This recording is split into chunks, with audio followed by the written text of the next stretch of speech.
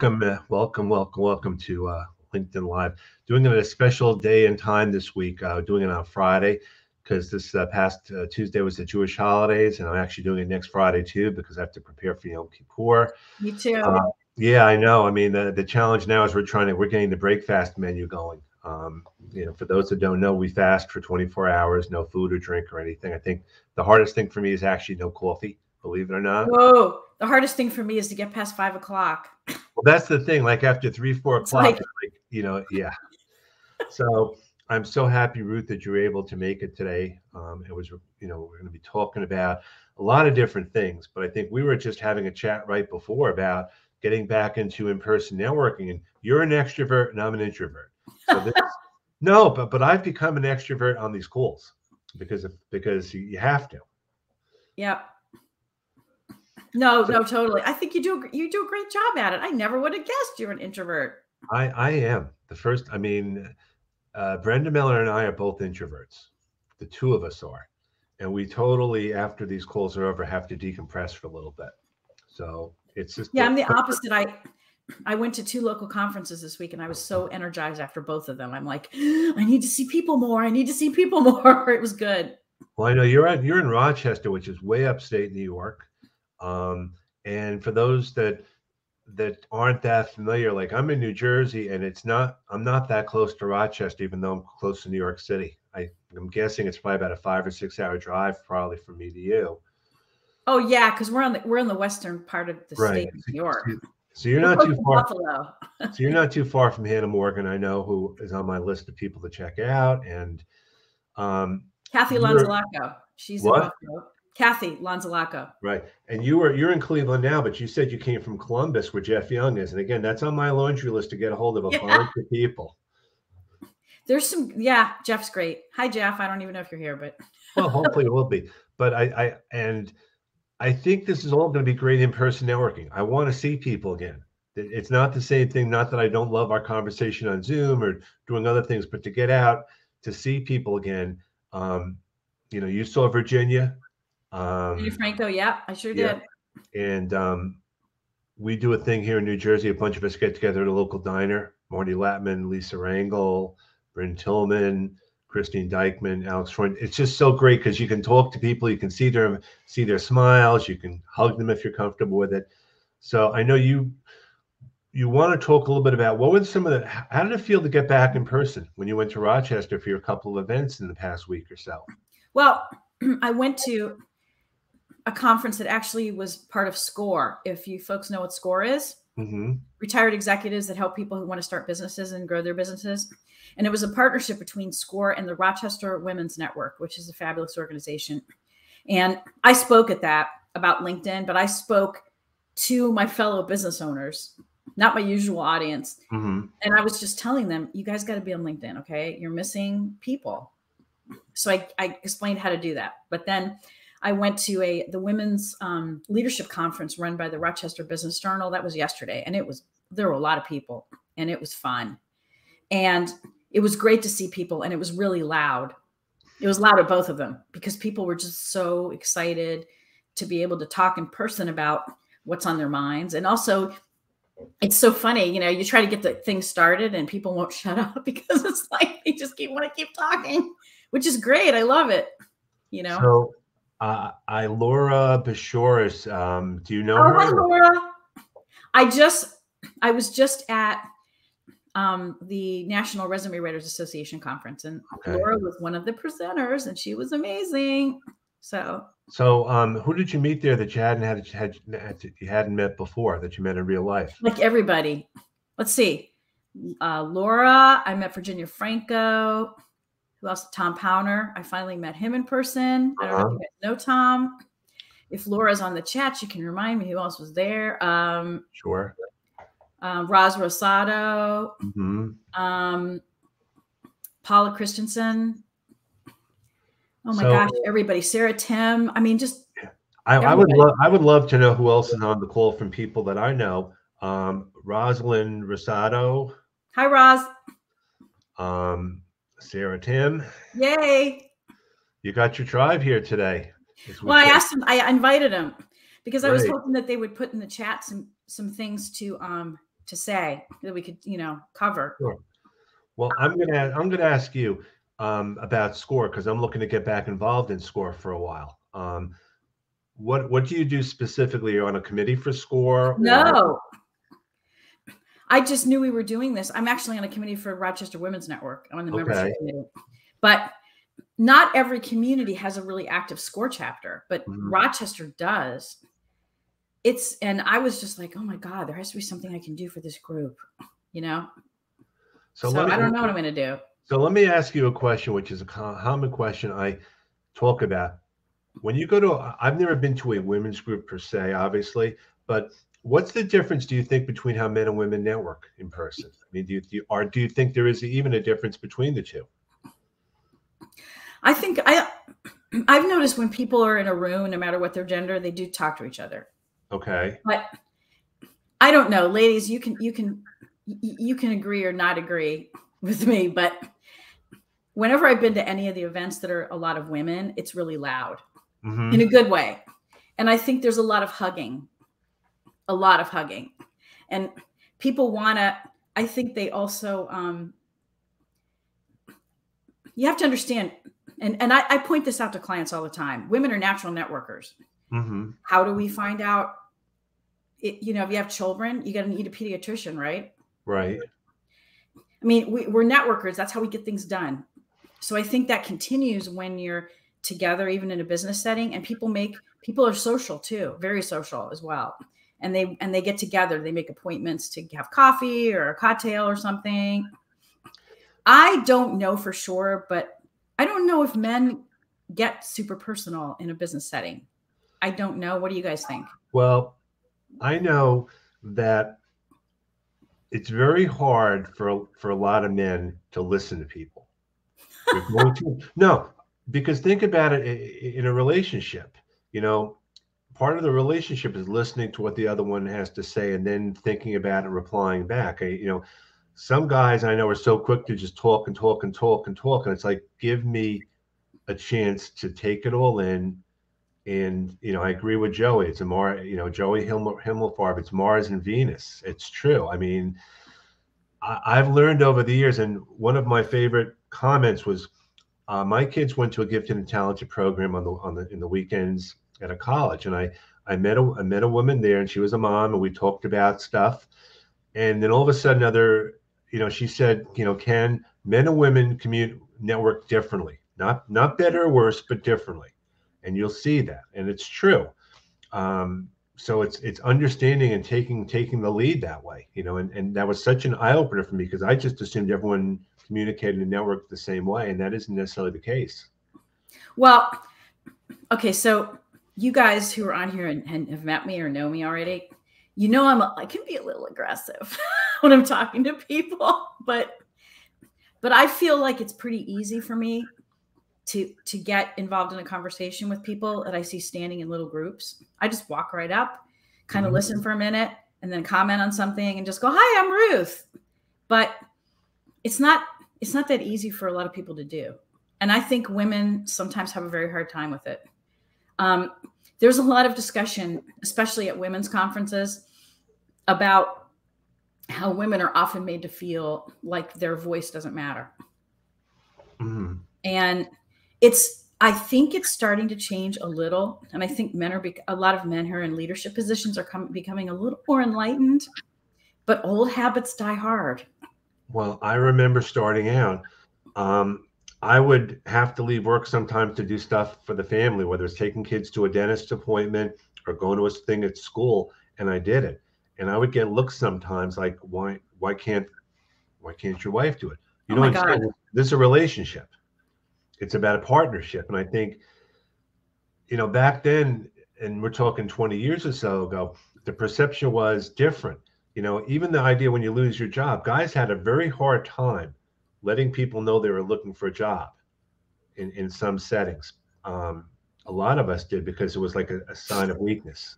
Ah, it's not a sign of weakness. It happened you know you know and, and life happens you know and it's just the way it is. And i think what i really love is i love opening up conversations. I love listening to what people have to say with whatever the topics are because the more I know, and I'm I'm always saying this, I'm always learning, and it's not a tagline. I do believe that. Yeah, I feel the same way, hundred percent.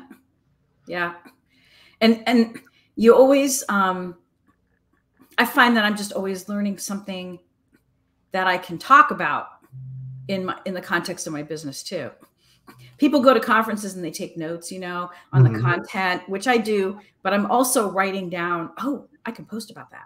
Or I didn't make that connection before. Oh my gosh, I have to write it down because I I'll forget. I think sometimes men don't realize how they come across, which is a big part of it. It's it's the wording, it's the way you come across. And sometimes guys have to police themselves. I'm a big believer in that. We, we have to be willing to say, this is not appropriate. This is not the right way to do it. You know, what one of my brother in law actually made a comment last night. He will never be on this call. He will never, never hear this. But I'll, but I'll say it. He referred, he referred to someone as Hun, H O N. Oh, oh gosh. Someone yesterday, yesterday, one of the one of the speakers. I think she's a she's an executive coach in Rochester, been around a long time. She was talking about earlier in her career. Mm-hmm. She was talking about negotiation, like salary mm-hmm. negotiation, but she was just talking about her early career, and she was talking about how she had to. She learned whenever she went to a meeting that she had to change her mindset if it was mostly men in the meeting, really? and she even had to change how she spoke in the meeting what she said, how she looked, what what she said to get to be um, to have them pay attention to her and respect her. But she told me that, or she told the group that somebody called her sugar or something. Uh-huh. I think that was her who talked about that. And she's like, you know, right. I'm like, what? you know? Even when men and women are in a work or networking situation, the perceptions are different. I mean, um, you know, I'm looking at, you know, Rosalind said here about being assertive. Women being assertive and men being assertive, I think, have different connotations. Oh, she, the speaker yesterday, now, and now I remember it wasn't sugar, it was princess. They called her okay. princess. And she's like, what? No, she said, if, you know, if men are assertive, they're like, yeah, you're being assertive, you know, it's good. If, if women do it, it's the B word. Exactly. Yes. And those of us who have a lot of women clients, I know we all talk to our clients about this too, about how what I get a lot from women is that kind of like self-effacing attitude or self-deprecating attitude that well you know i've done some things but like i can't really talk about that because it's like we had a team and it was really the team. And i go look if you hadn't been there would x and y project have happened in the first place? Well probably not. Well then hey it's you have to practice with people too to get them to say it out loud, right?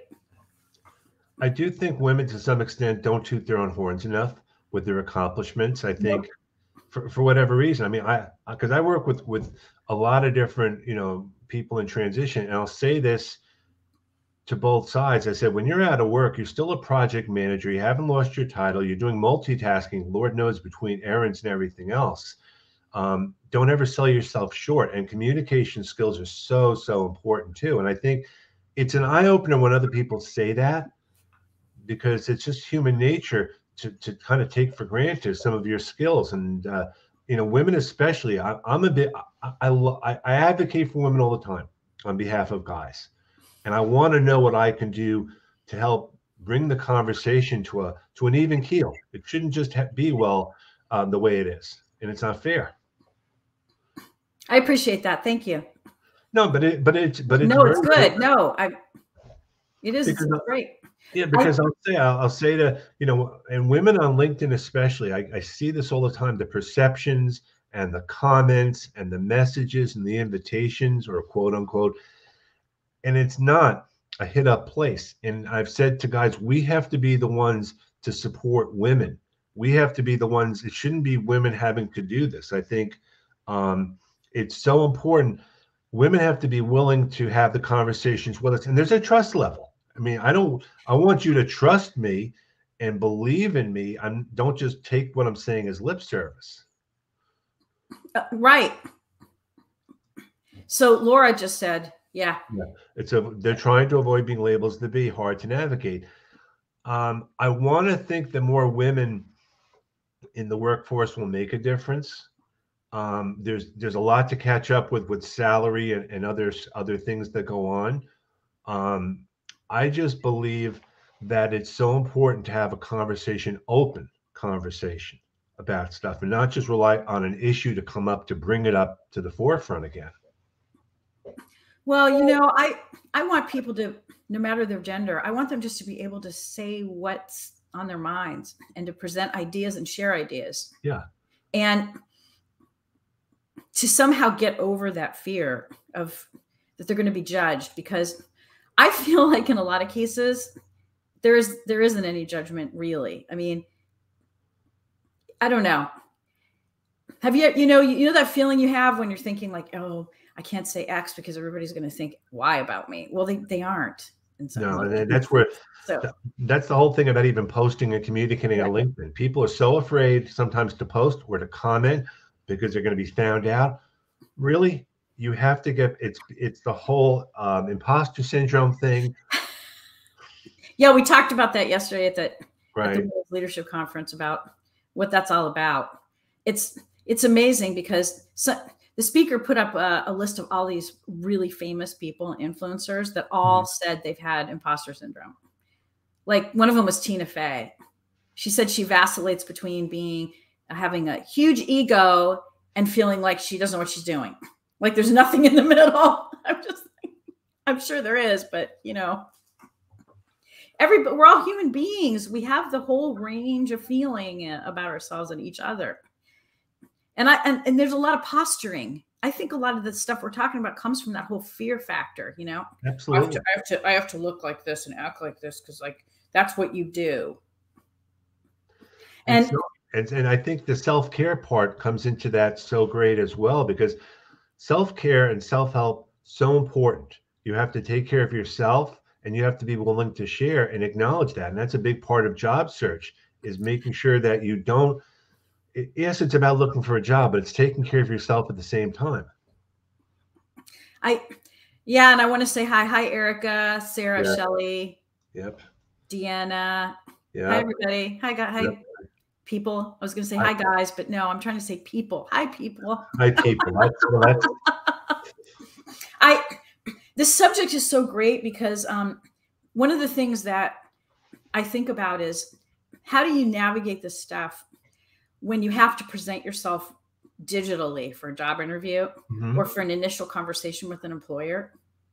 It's I mean, it's it's it's unavoidable this is one of the things we talked about at the National Resume Writers Association conference was was how digital is here to stay for right. interviewing. And in some in a lot of cases it's it's um it's that the job isn't where you are. So you can't unless they fly you out, you know, you have to do it digitally. But then there's this whole this whole thing now with one-way interviews. Mm-hmm. I was in a session on that where the questions are presented to you and you just have to speak and answer the questions. You're trying to, so you got two things going on here, right? You're trying to be yourself with a person and trying to be yourself without a person. Right. How do you, I don't know, feedback, people, people, people watching. Yeah, I think here's what people have to say about huh? yeah if you have comments about what we're talking about, please put them in the chat. I mean, I would love to. I'll chat with Ruth forever. Don't misunderstand. Yeah, come on, people. We want to make this interactive. um, you know, meantime, what were some of the other things that came up at the resume uh, convention? Things that are any any any any things changing with resumes and and, and well, that? there was a lot of discussion about artificial intelligence. Okay. Um, because it's it's it's really becoming part of job search and when you say AI, people go, oh my God. Actually, it's not a bad thing at all because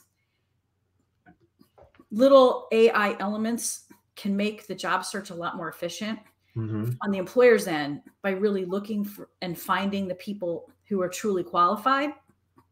And also, um, AI can remove bias from the search because you're putting certain parameters in there, and that's what they're looking for. They're not looking for a name. They're not looking for what the person looks like. but it it does present some um, some more work for the candidate because if you want to be found by these very specific algorithms, you have to present to these very specific algorithms.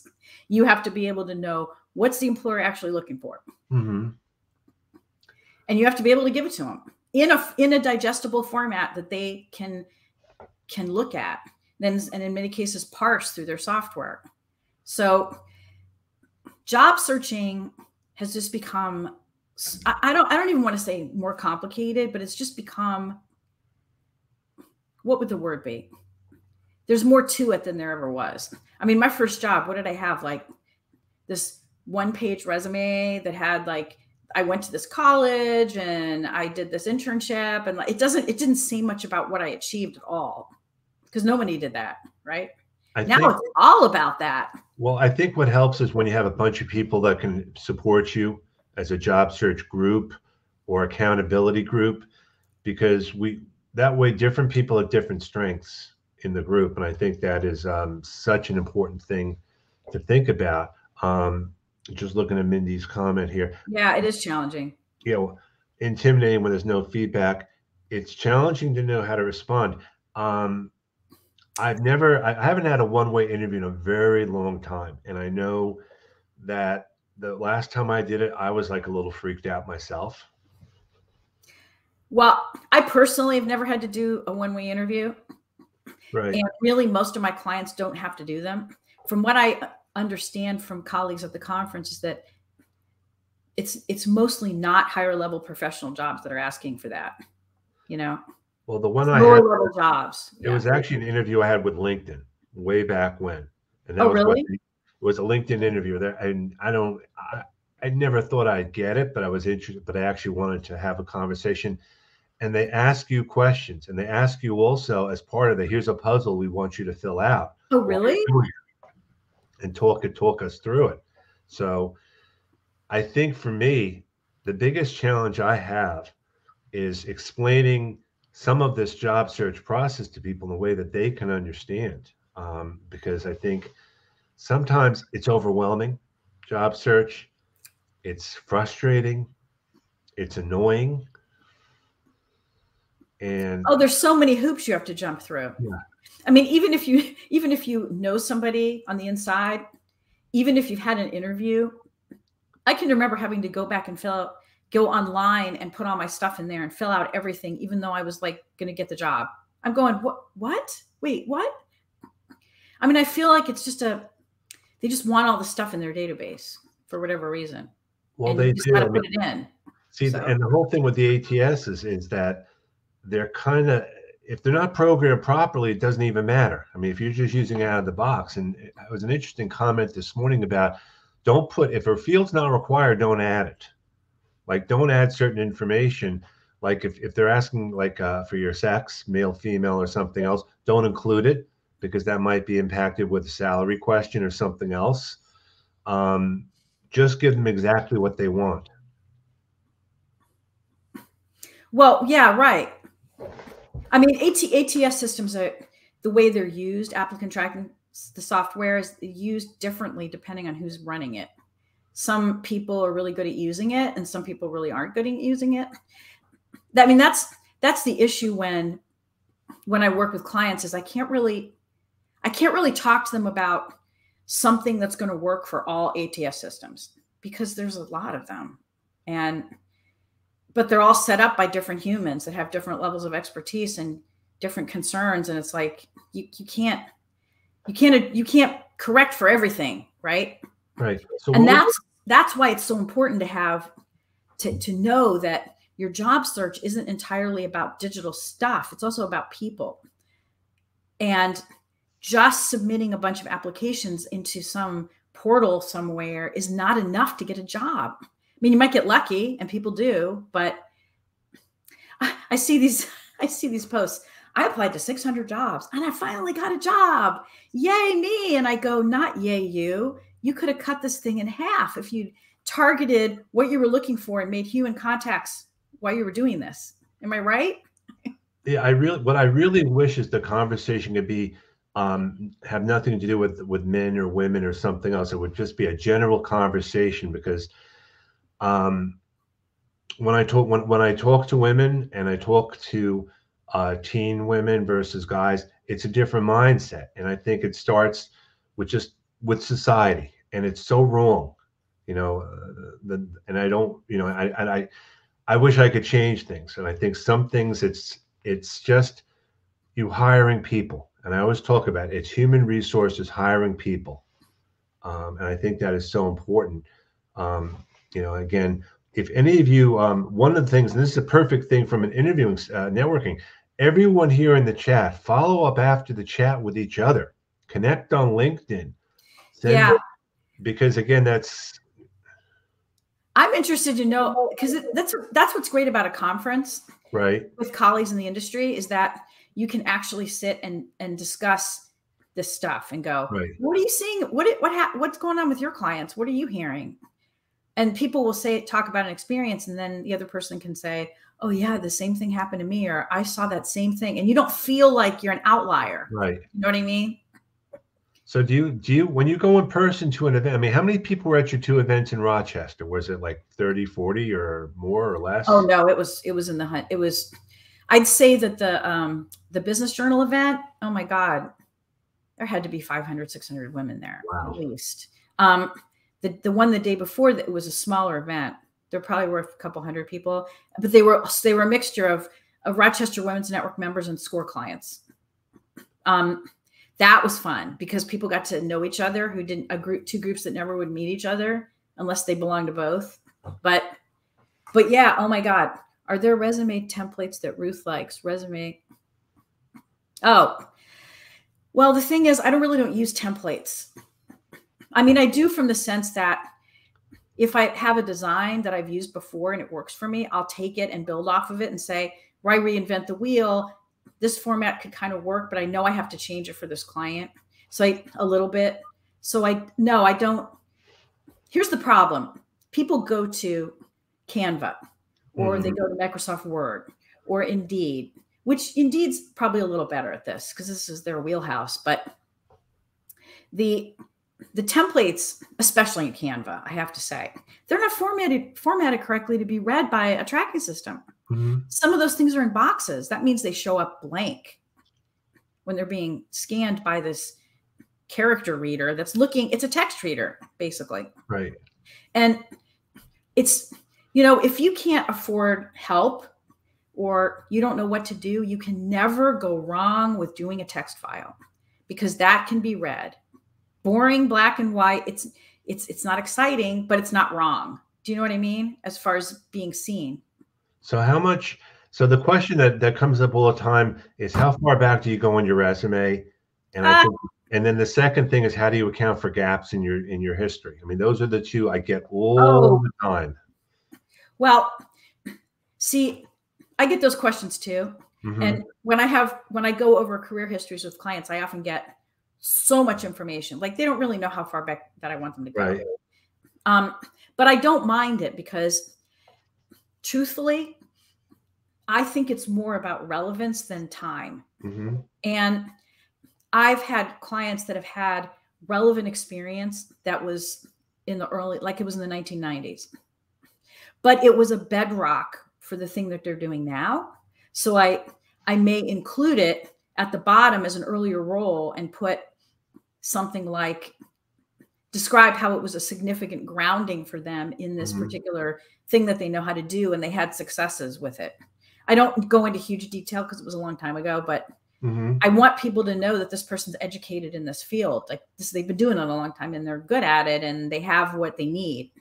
Um, so that can be a reason to go back in your history.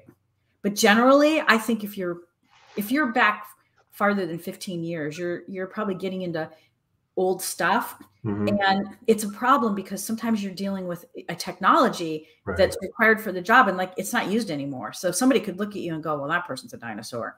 You know, you don't, there's no, here's the thing it's a marketing document.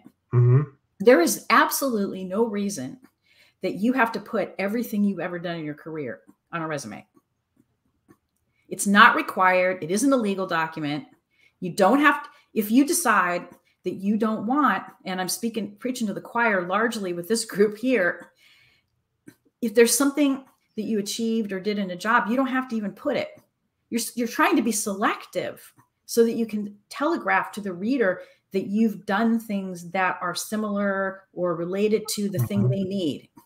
Right? That's the art form of doing this. And it's it's why sometimes it's hard for people because my God, we're we're inside our own path. Like if I had to do a resume myself, mm-hmm. I would pay someone in my colleague group to do it. I wouldn't do it. I know how, but it's me. I don't want no. I need an outsider's point of view on the whole thing. So how, how do you handle job people that have been out for a year or two? I mean, oh yeah, that was the other part. Yeah. Well, you probably agree with me, Ken, that it's not it's not such a big deal anymore to be out of work, right? Mm-hmm. Because a lot of people have been out of work because of COVID. And I think we're also rec- and also look, there's no such thing as you know employer employee loyalty. Not not like there used to be and maybe it's a myth. Maybe it never existed. I don't know. But people change jobs. Mm-hmm. I mean, you don't go you don't go through your life doing sitting in one chair forever. You, you explore, you do different things, you grow, right? But sometimes life necessitates that you stop work, stop doing a thing for pay because there are things you need to do. Mm-hmm. Maybe you got to take care of your parents. Maybe you decided you need to raise your children instead of going to work every day. Important job. So when people have career gaps, I just address them in the resume. I just I want the chronology to be complete. Mm-hmm. So when I'm looking at a gap, I explain the gap in that spot, but I don't belabor the point. You know, don't go into a job interview and start going on and on about your gap. Because honestly, I really feel that most employers may ask you if they care. And all you have to do is say, We had an illness in our family and I, I needed to take time off. And I then agree. they move on to the next question. Yeah, you I agree. You don't have to point a giant arrow at something. You just don't. It's this is a, we live in different times. This is completely different. Don't, so I, want to put up some comments now. Uh, mindset is everything. Getting laid off killed my self confidence. You need to be ready, feeling good, ready to move on, which takes time. And I I can relate to that. I'm sure a lot of the people on the call can as well. Oh, you know, Valerie, it's nobody likes to be kicked you know nobody likes to be told that you know we don't we don't want you now. Bye. Don't the screen door hit you on the way out. We've and i'm sure in this group even in the career professionals and there are quite a lot of them here uh, we've all been through that. I know most of us almost all of us probably. Yeah for sure. and so number one you have to realize that you're not alone because it happens for whatever reason right? Um but number two you have to realize that there's help out there and I'm not talking about just paid help. Mm-hmm. As Ken was saying, it's about support. You you somebody said yesterday at this women's conference that she has what she likes to refer to her own as her own board of directors. Right. She doesn't she said, "Well, they don't really know they're on my board of directors, but they're like five people whom I trust mm-hmm. to get honest feedback. For, to, you know, they'll give me honest feedback. So I know I can call them if I'm having an issue. And go to those people in your network that you trust. Say, I, I just got laid off. I'm, I'm really feeling lousy about it. And talk through it with that person. It's really important to have a good network and, and, to, and to remember that some people you didn't think of as being in your professional network really kind of are and can be don't sit there by yourself yeah, and I, and yeah. and stew and feel terrible because there are people out here who really want to help, right? I mean, I tell I tell the story that when I was out of work, I got involved with the PTO, and I met some great people there. Um, it, it helped my self esteem, and then on top of that, um, when I was taking my kids to the different sporting events, I would talk to the moms and dads, and I would be talking to them as a mom and dad. And I actually looked some of them up on LinkedIn at the time, and I was like, "Oh my god, this person is not just my friend's father, but he is or she is. And I think it's hard, but you get used to it. I mean, for me to have to have a chat with someone was like pulling teeth. I was like, leave me alone. Oh, Well, I have two things to say about what you just said. The Sure. first thing is the first thing is getting involved in something is a really good way to emotionally recover. Hmm And and also like it's a great networking tool because you don't even know who you're going to meet.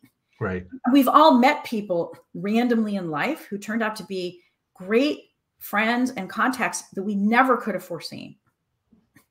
That's why you have to allow yourself that room to meet people and talk to people, even if it's digital, right? Yes. I think that's so important. Yeah. important. and getting involved and it's also good to get involved it just makes you feel good then and the and the other thing now i'm forgetting what the other thing was oh talking to people. Yes. okay. This is what i say a lot to people is the clients is well so tell me what you do when you first meet someone who you're starting to be a, uh, friends with. You know Mhm. you're just chit chatting with someone. And they'll just they'll tell me oh you know i ask them how are you? And oh so where do you live? Or you know what i mean? The same thing. We get so intimidated especially with a digital platform for some reason we we think that this that's happening now and even off to the side in writing we think those things are not um, real life. Like somehow we separate those things out. Mhm. like digital communication is not actually relating to people like you would in real life but it is. Yes you're you may be writing something or you may be speaking into a camera on your computer but it's still people. So it never hurts to just ask people it, I break the ice Yeah. like oh so where do you live again oh how long have you lived there that starts the conversation Well, I, I remember last week or so, someone was doing an event up in northern New Jersey, and you know, he said, "I'm in the area. You want to meet for a cup of coffee?" And I we met on LinkedIn. We figured it out. We met like three o'clock. Five hours later, he was down from Philly, and we had a wonderful chat.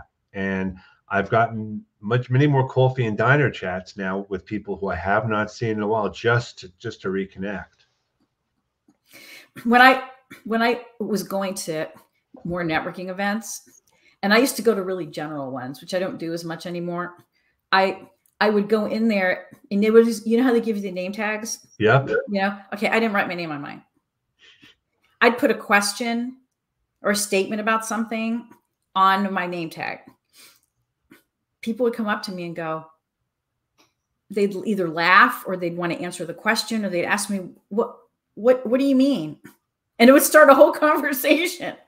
I didn't even have to work at it. You know, it was like there's all kinds of things you can do like that. Yeah, that reminds me. I Yeah. should actually have the next time I should have my name tag connect with me on LinkedIn or here's how to connect with me or something. You know, just some tag on instead of the name because it'd just be that much be a great Well, thing. The other thing is, you know, there's that great little handy dandy thing on your. I was showing a lot of people this yesterday The on your LinkedIn. Yeah, if you go up into that little message bar up there at the top Yep.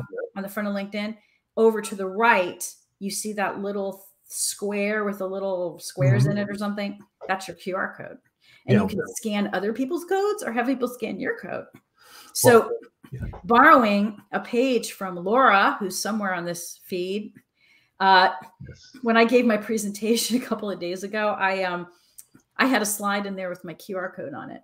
And I went, okay, you know, I know you probably have a lot of questions and I can't get to them all today, but I I'd really like to get to know all of you who I don't know. So why don't you go ahead and take a minute and scan my code and just go ahead and connect with me.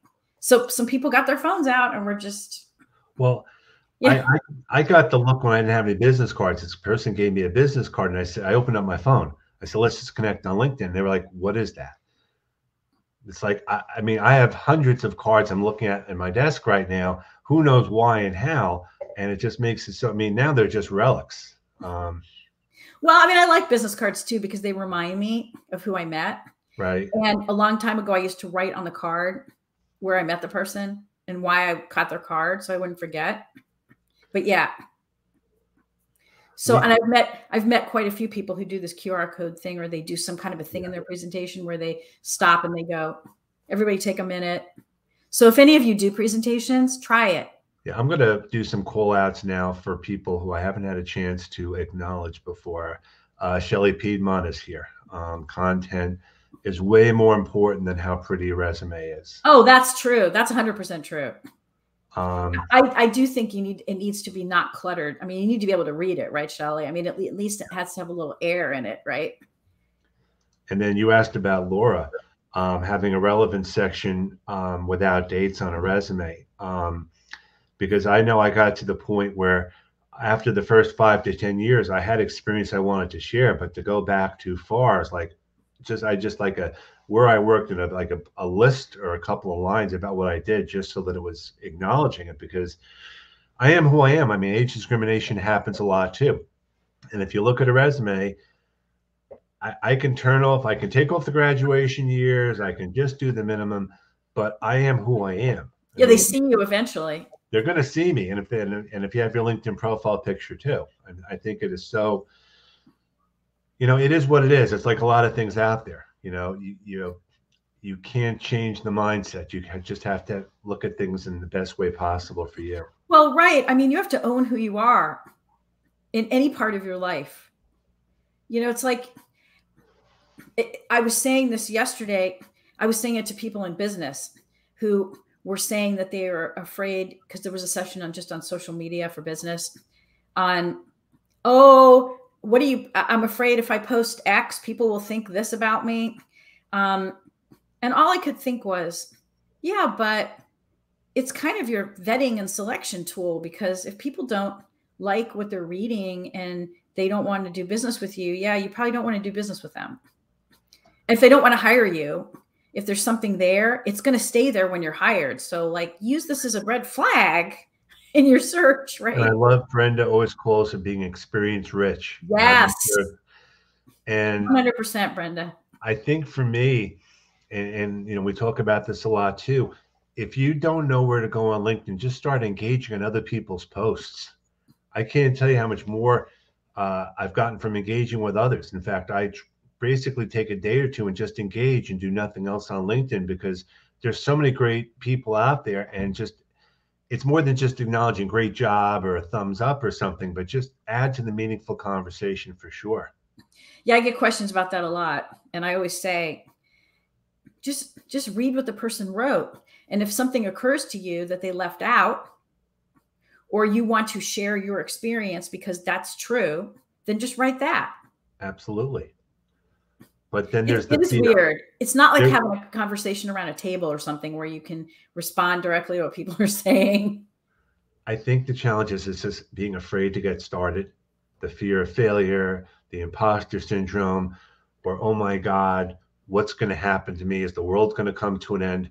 No, it's not. No, it isn't. That's the thing. And sometimes I think that um, those of us who have been around the working environment longer and just life itself, we kind of figured that out over time that no one's thinking about you. No. They're thinking about their bad hair day or some other thing. You know, like me. I don't know. It's Or not- me without, or me without hair. I I mean, don't I, know what's happening. I, oops, that was the wrong way. You know, I'm so confused by this picture because it's opposite of what I'm doing. It's like, yeah, you guys probably know what I mean. If you're on camera, it's like flipped. So well, that's the other thing too. I mean, you know, we are who we are. I mean, I, you know, we were talking at the beginning about what are we going to talk about, and we just no, it's true. I mean, I and we just let the conversation go in a certain direction. I mean, you know, you and I are in the middle of uh, preparations for the holidays, and we talked about the challenges we're going to have um, being without coffee for 24 hours next week, or water. or water, or food. Um, and what's the over under on when we're going to actually, you know, have that first bite or something? I mean, for those that don't know, this is you know, we got the Day of Atonement coming up next uh, Tuesday night into Wednesday. We probably some Jewish people on our feed here too who are I'm sure there are members of the tribe and be honorary doing that. Yeah. I told my husband I I would like to bake an apple cake Uh huh. on Monday if I ever get to it. I've never done this before, and I want to do it. Well, we we have our list. We're gonna we have our shopping list for the weekend of all the stuff to get for break fast. Um, this year. It's The first time. Yeah, well, you got to be careful because after you haven't eaten for 24 hours and you try to stuff your face, you're going to be, you're not going to feel well, Ken. No, no I know. We, we, we, have it down. The thing is, it's the first time in three years we're actually getting together for breakfast because usually in the past it's just been a couple of us. So, uh, look, I'm looking forward to it. But I, we've I, I learned the first time I did this, you do not overindulge. Yeah, but some and someone also had a had a post recently on Facebook about about the 24 hour fast and they're like are, are, we really complaining about this? There are people who are hungry all the time. We're, we're complaining yes. about not eating for one day. People do intermittent fasting. I mean you know it's like i know. But it gives us something to talk about well we need you know you and i we, we need um we need something to complain about because that's just it's genetic. I'm just gonna well, say it. it is. It's, it's almost like you can have you can have a conversation with two people and have have five different observations yes. mm-hmm. and the whole jewish goodbye thing which of course a lot mean, of cultures have that you know you're trying to leave a room and yeah. you just never leave the room. Okay no, i'll talk to you later but one more thing but another okay bye. No another thing. My mom and i are like that on the phone. I've i've learned to sit down until it's time to go. When my wife is finally ready to go i don't because it doesn't matter if i'm ready to go or not you know, it's so I want to thank you very much, Ruth, for chatting today. We we yeah, have really to do, fun. We have I, to do this again. What? Well, I, I love seeing all these my people, my friends, and people I know and haven't really met yet. Like Brenda, I haven't met you in real life. I would love to meet you. No, none of us have, you know? and I can't wait. I mean, um, I'd love to meet. I mean, we have to figure out a way to do this. I, I'm I'm looking forward um, to meeting Sarah from the UK. She's coming over. Oh yeah. She's coming into the city for Christmas week, so we're we're figuring out a whole itinerary. You're so you know you live so close to New York to the city. It's great. It's yes, it's like, it's like well, five it's, hours for me to get there from Rochester. Great. Yeah. It's, it's great to get to the city once you're there. Getting there is a whole different story. Staying there's a whole different story. Well, the good thing is when you're up at a certain age, you have certain benefits in terms of transportation costs. I'll leave it at that. I'm trying to what? Okay. Those it costs us so little to take a bus into the city. We would never think about driving. Oh, I I if I go to next time I go to the city, I'm going Amtrak. Yep, for sure. Because what is it to park your car? It's like 60, 70 bucks a day. It's it's not even the parking; it's how you're going to get in and out. Why no, that's a whole other thing. I don't know. I'm not that brave. then, then, there's, then there's 15, 20 bucks in tolls. It's not worth it that's that's another thing. Yeah, yeah. But, but um, I thanks thanks all of you for being. Yes, thank you all day. very much. I mean, appreciate this very much. Um, you can always catch the replay anytime, and um, we're going to do this next week. I mean, next next Tuesday at this time. It, is it Virginia? Is she next? Who's on no, your show next? I have Andy Foote coming next Friday. Oh, Andy. Oh, what day? Oh, next Friday. Next oh, Friday because of the holiday. I have, to, I have to be on. I have to watch that one. Andy Foote and I we're going to talk about a bunch of stuff that we're see we're not really supposed to talk about linkedin on these chats. We're not? Not technically no. But we not will. even that we love it? Well of course we love it but i mean we're gonna you know dan uh, andy and i are both don quixotes. We tilt at windmills. We want the best. We hope for the best. We know it's not happening but it just gives us something. And um, since andy is not on the call i have a little surprise for andy coming up next friday a little story. Andy could not during the pandemic could not could not find Rice Krispies anywhere. He looked for them everywhere. You know the the cereal by Kellogg's. Yeah, yeah. So I'm gonna I'm gonna have Rice Krispies ready for him because he couldn't get them. Apparently, apparently the store brands weren't good enough. So that's gonna that's an inside joke. So those of you that know Andy, he he loves his Rice Krispies very much. It's one of his hidden uh, hidden things. So I you know I wish I this format is good, but I wish it, we were on like more of like a Zoom format. We can do it again. Together. We can do it on a Zoom again. There's, it would be great because everybody could bring Rice Krispie treats, and at one point in the call, just go Rice Krispies. That's a good idea, actually. Maybe we should do that. Um, I'm I'm also partially an Uncrustables person, although I can't do that as much as I used to, you know, with the kids. But it's a whole discussion, a whole different discussion. Now, food and networking, you know, and then how you handle that. Yep. All right. Well, thank you all very much for joining. Comment on the chat. Have a great weekend, everyone. Yeah. Happy New Year to those of you who celebrate. Shana Tova, happy, healthy Yes. new year. Um, hoping for the best, hoping this year is a better year than the year before for all of you too. That's for sure. And I can, let's connect if we haven't. Seriously. Absolutely. Absolutely. Bye bye. Bye.